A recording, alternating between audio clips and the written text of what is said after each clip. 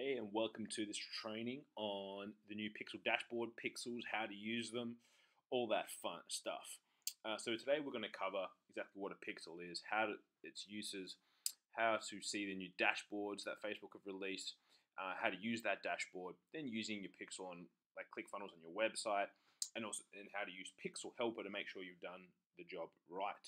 So a pixel is essentially just a one by one little piece of tracking code that you know, if you've ever been to Amazon, Booking.com, Expedia, all these websites, you've probably started to see and notice advertisements following you around the internet. Essentially, what they've done is they've placed a pixel, they've placed a cookie, you know, however you want to call it, on you, and basically tracked where you've been, and then they also can send you offers based on that. The easiest way I like to think of it is if you had a crowd of people and you just went up to them and put a sticker on them, put a big yellow sticker on someone, that's gone and visited your website. And then as you start to see these groups of people, you'll see, okay, this many people, 10 people have my sticker on them. They've been to my website. Then based on that, you can have certain actions. You can track where they've been on your website. You can track what they've purchased. But you can also tell Facebook that you want more of these people to come through your funnel, for example, because you can use it for two things for a tracking purpose. You could also use it for the purpose of telling Facebook where you want people to end up, where you want them to convert in your funnel. So if you look at this funnel here, each of these pages has a pixel on it, but I can also, with that pixel, tell Facebook that I want a custom conversion put on this page. I want them to optimize my advertising for people ending up at this level. So I can give them those instructions through uh, the Facebook pixel when I place that and I track those things, then I can do some really, really cool things with it afterwards as well. But just to start off with, you need to understand how to use it because some people can be overwhelmed with it. But all in all, it's just a little bit of code. Um, and I'll show you the new dashboard first, and then I'll uh, explain a little bit more on how we use it.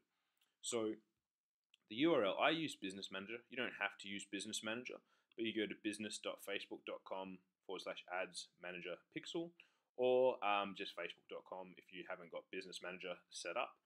So you'll be able to see in there all the stats of your pixel, how many fires it's done every single day, all that sort of stuff. Um, but what we really want to look at is this new section, which is the analytics. Now, your section may not look like this just because I've already been in here before, recorded a few videos. You may get some new notifications. But if we look at the click on the analytics, this is the new funky fun part, right? That Facebook have uh, created for us. So this is all just really allowing us as advertisers, as marketers, as business owners to get a really deep understanding of what's happening. Um, and I'll start with the most in like the fun part first, which is you know previously may have, you, you may have used audience insights or something like that to get more detailed information on your clients. But now what you can see is you can come in here and anyone that's hit your pixel, you can start to get detailed insights on their demographics, their country, city, language, job titles, education level, relationship status, even down to the page likes that they've done.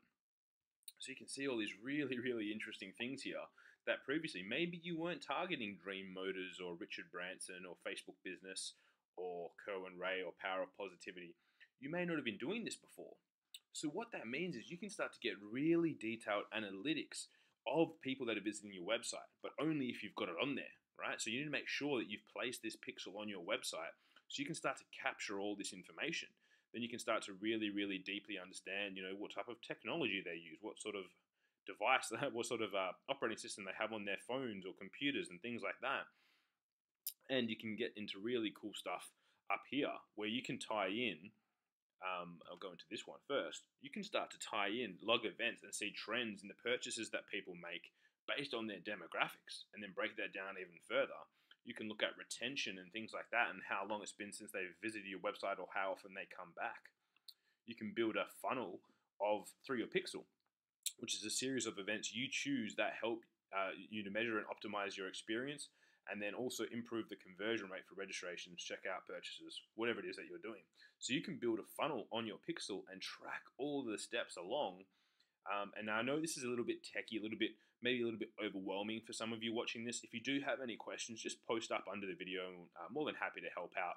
But I just want to show you the power of why you should have it installed. Then you can build a, a dashboard and you can start to see just this overview, which is kind of what they're rolling out. So you may already have this just in your dashboard straight away. You may just see something like this, um, which is they're starting to roll out for people, and you can see all these cool stats just straight off the bat based on you know how many monthly users, weekly users. You can adjust it to the last you know 24 hours, see what's been happening. It just allows you to get really detailed and really understand your target market, right?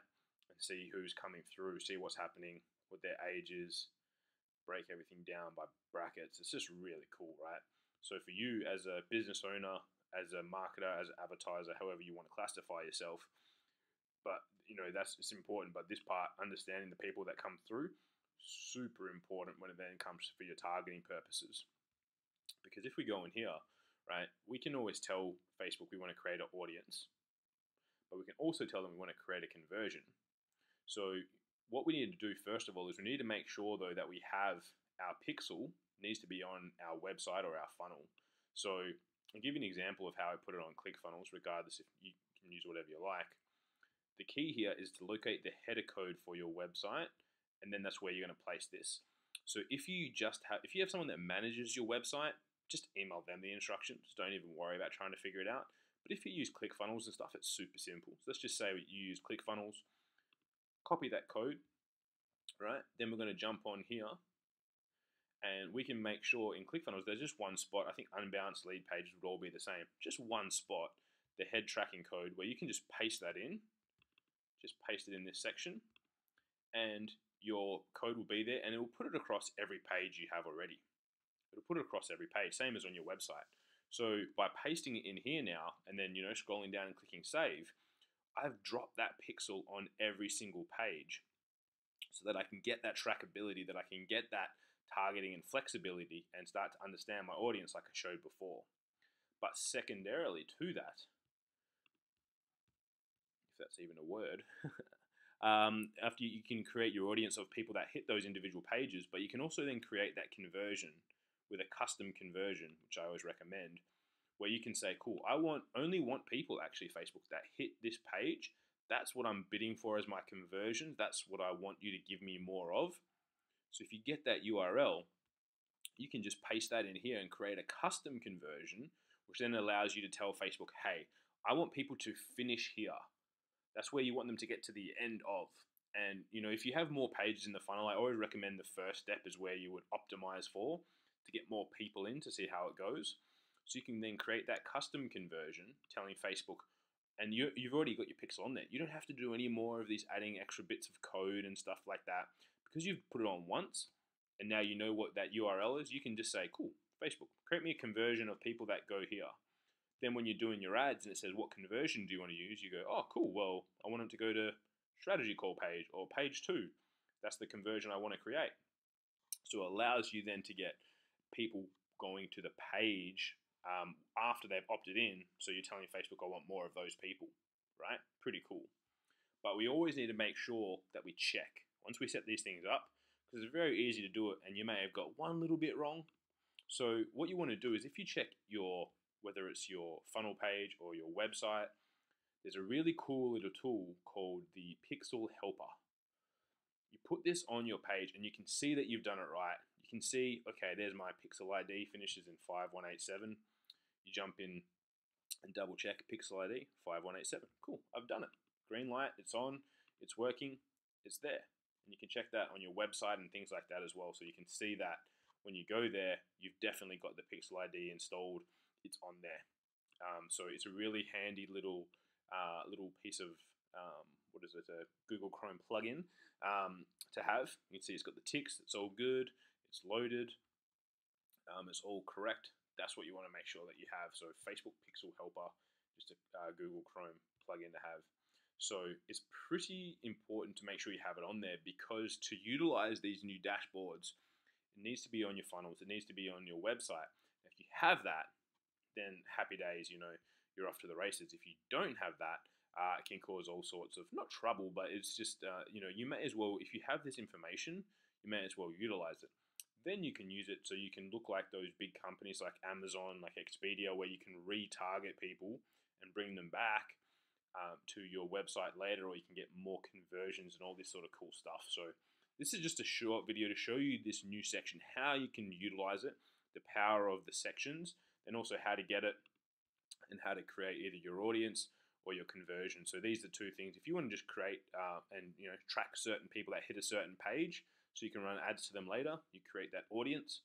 So for example, I might create an audience of you know all website visitors or people who visit specific web pages or how much time they spend on my website, all these cool things.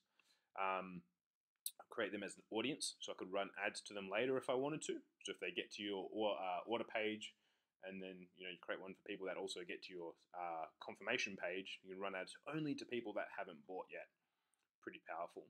Um, and then your conversion is saying where do you want people to finish? Where do you want that conversion to end? And then asking Facebook to send you more people that will get to that point. So that's it for today. Just a nice little overview for you on how you can best utilize that. Hope you enjoy. As I said, comment below. I'm going to post this on our website so that you can comment any questions that you have. Um, and then from there, uh, we can help you even more. Um, so if you have any questions, post them up. But otherwise, uh, appreciate you taking time to watch this and hope that's helped you understand not only the power of the pixel and what you can do with it and tracking and whatnot, but also understanding this new section of analytics, what's really possible, and uh, yeah, what's um, what you can do for yourself and your business going forward. So that's it for today. Appreciate it. Thanks, guys.